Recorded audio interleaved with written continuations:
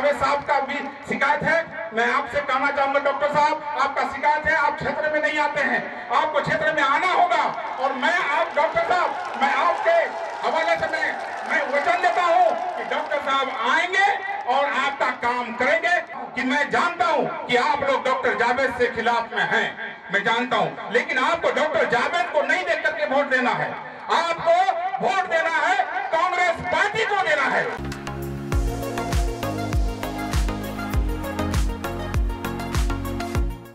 फलना कैंडिडेट अच्छा है तो फल्ला कैंडिडेट अच्छा है वो चीज़ नहीं देखना है।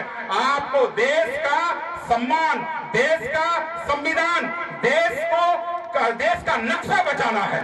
यही कहा करके मैं आप लोगों से एक बात और कहने के लिए जाना हूँ चा, च, कहना चाहता हूँ कि मैं जानता हूँ कि आप लोग डॉक्टर जावेद से खिलाफ में हैं मैं जानता हूँ। लेकिन आपको डॉक्टर जावेद को नहीं देख करके वोट देना है। आपको वोट देना है कांग्रेस पार्टी को देना है और मैं कहना चाहता हूँ हमारे अध्यक्ष जी को आप जब प्रधानमंत्री के कुर्सी पर बैठेंगे तो हमारे किशनगंज जिला का कुछ मांगे हैं। 2010 में जब यहाँ एएनयू का शाखा खोला गया था तो यहाँ मनमोहन सिंह का सरकार में मैडम सोनिया गांधी आकर के यहाँ उद्घाटन किया था और आज तक पैसा नहीं देने का काम किया है। मैं आपसे आग्रह करना चाहूँगा कि आप जब सरकार में बैठेंगे तो ये एमयू का शाखा को आपको पैसा देना पड़ेगा। और हमारे लोकसभा में कम से कम पंद्रह लाख सुरजापुरी बिरादरी हिंदू मुस्लिम सिख ईसाई सब कोई सुरजापुरी जिसको बोलते हैं उसमें आज तक हमारा एनेक्सर वन में नहीं आ, आ सका है।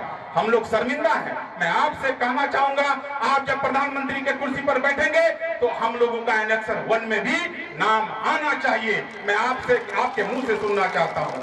और तीसरी बात जो सबसे अहम है हमारे हर घर से एक व्यक्ति बाहर में खटने के लिए गया है। कम से कम पाँच लाख लोग खटने के नियत से गया है महाराज दिल्ली, हरियाणा। मैं चाहता हूँ कि आपका जब सरकार हो तो हमारा किशनगंज में कोई भी उद्योग खुला जाए, ताकि हमारे लोग माँ बहन को, बीवी को छोड़ करके जो दिल्ली में रहता है, मद्रास में रहता है, हरियाणा में रहता है वहाँ से छुटकारा मिले, मियाँ बीवी एक साथ रहने का मौका मिले। मैं चाहूँगा कि उद्योग यहाँ खोला जाए। यही कहा करके मैं आप लोगों से आग्रह करना चाहता हूँ। टिकट के दावेदार मैं भी था। निर्दलीय मैंने, आपने मुझे जिताने का काम किया था। उसके बाद तीन तरफ़, यानी चौथी बार आपने मुझे एमएलए बनाने का काम किया। और मैंने भी टिकट मांगने के लिए किया था। लेकिन जब वहाँ गए तो वहाँ कहा जो लोग थे हमारे जो मानने वाले थे, उन लोगों का कहना था खास करके खड़गे जी कहा कि देखो, कांग्रेस में जो सेटिंग एमपी रहता है, उसका टिकट नहीं कटता है। लेकिन हालात यहाँ का मालूम था। फिर भी कांग्रेस का नियम है कि टिकट जिसका सेटिंग रहता है, उसका टिकट नहीं कटता है। मैं आपसे आग्रह करता हूँ कि आपको डॉक्टर जावेद को नहीं देखना है। आपको देश को बचाना है, संविधान को बचाना है। आप एक बार हाथ उठा करके कहिए कि को देंगे आप हाथ उठा करके कहिए मैं आप लोगों को मैं ये, वचन लेता हूँ और आप लोग गद्दारी नहीं करेंगे।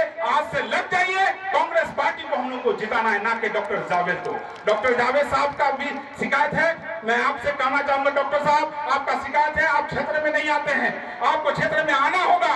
और मैं आप डॉक्टर साहब मैं आपके हवाले से मैं वचन देता हूँ कि डॉक्टर साहब आएँगे और आपका काम करेंगे। इसीलिए आपको वोट इधर उधर नहीं जाना है। इधर उधर जाएँगे तो बीजेपी जीत जाएँगे। और बीजेपी जब जीत जाएँगे एनआरसी लग जाएगा। सीसीए लग गया है एनपीआर लग जाएगा फिर हम लोग कोई भाग के नहीं रहेंगे। इसलिए अपने आप को बचाना है कांग्रेस पार्टी को वोट देना। यही कहकर मैं रुखसत देता हूँ। अस्सलाम वालेकुम नमस्कार।